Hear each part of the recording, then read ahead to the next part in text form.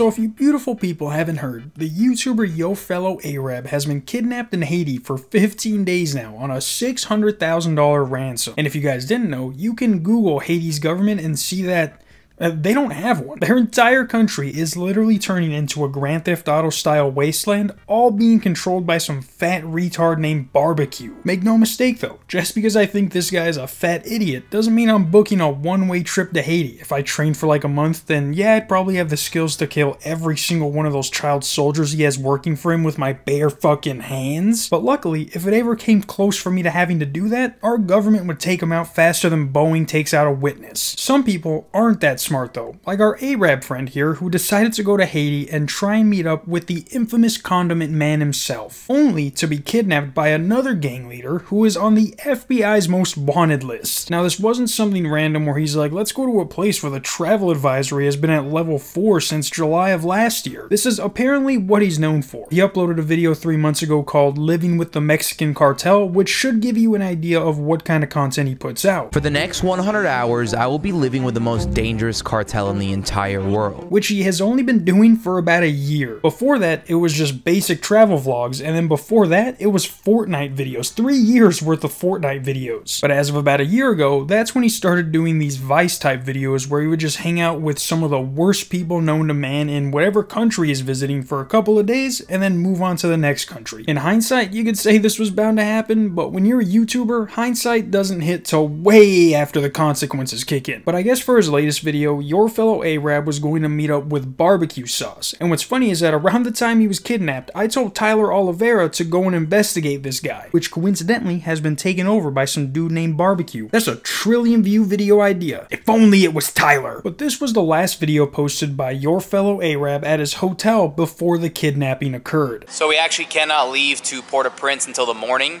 because it's already 6 p.m. and if we leave right now, we'll get there while it's dark. It's about a six-hour road trip. We'll get there while it's dark, and that place is completely run by gangs. So you don't want to be dealing with the gangs, even though we have safe passage. We're already approved. All it takes is one stupid gang member holding an AK-47 for one thing to go wrong. So we're not taking that risk at night. We're going to be leaving at 3 in the morning. I just really wanted to show you guys the view from this hotel. We're the only people in this entire hotel. Everybody else is workers, employees, etc. Because no one's allowed into the fucking country. So there's no tourists here, okay, other than those Royal Caribbean guys. But I have the entire hotel to myself. Look at that view, man. You got the mountain range. You got the sun setting. Okay, you have entire Cap-Haïtien over here. And we've got a pool, which I wasn't going to take advantage of, but how many times in your life are you the only person in an entire hotel because the country's completely shut down, no one should be coming in, and you're just a retarded YouTuber? Now, just a retarded YouTuber is an understatement. There are red flags that pop up immediately throughout the video. The obvious one is that they're the only ones at the hotel. Unless you're a tourist visiting North Korea, that is never normal. The second one is that you can only travel during the day. This isn't fucking dying light, alright? If you can't explore a country when it gets dark, then you can politely fuck off. And the third red flag is just putting out this video, because if you think a YouTuber being alone in a hotel is going to stay between the hotel staff, then you might be a super retarded YouTuber. I know for a fact, as soon as this dude was the only one to check into this hotel, that gang leader is one of his low level goons who works at the hotel, went back to him. He's like, hey boss, I know we can, we Actually, you know what? Bleep that out. That's a joke for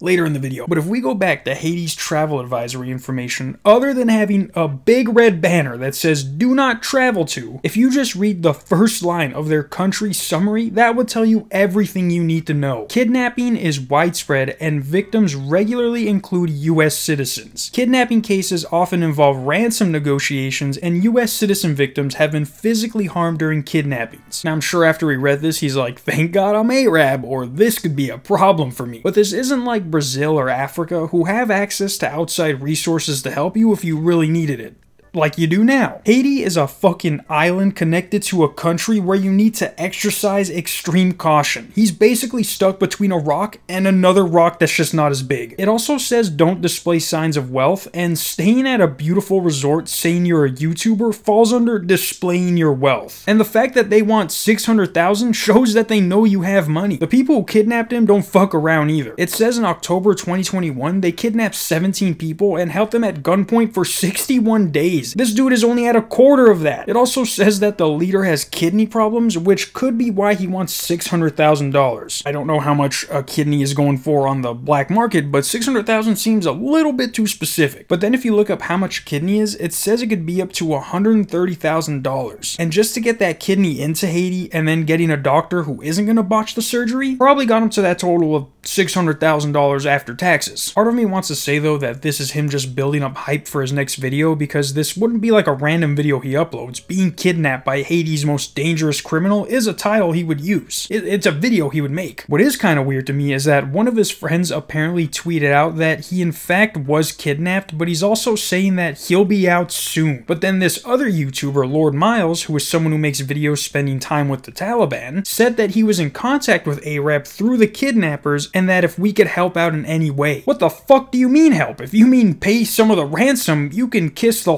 hole that is my ass. He went there voluntarily. If it was like where he was there and then everything went down and he was trying to escape, maybe, but he went there on his own free will. And if you don't want me to help that way, how am I supposed to help someone who was kidnapped by one of the FBI's most wanted? I'm not John fucking Wick, alright? If anyone tries to do something, they're just gonna end up as another hostage. And besides, he'll be out soon.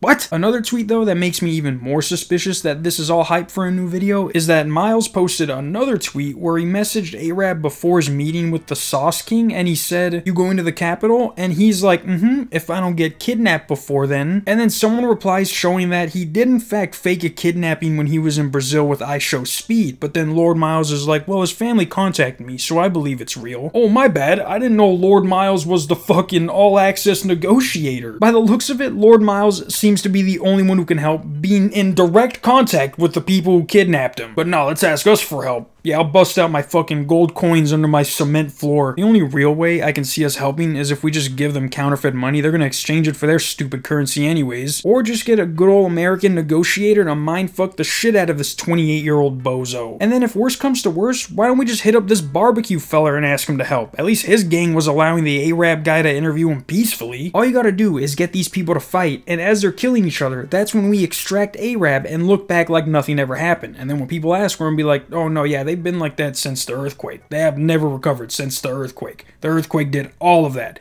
dead bodies, the, the bullet holes, the earthquake did that. The funniest thing to me about all this is that him going to Haiti during a time when the government is literally collapsing reminds me of this old dude when he gets asked what he does for fun. What do you do for fun? I mean, it sounds kind of macabre, but I like to go to uh, visit a country after a terrorist attack. Obviously, I hope nothing horrible happens to him, and if he gets out, I expect a video about this because there's no way in 2024 a gang leader is going to do all this with a YouTuber and not at least release some footage of what they got going on. Other than that, see you guys Sunday. Peace.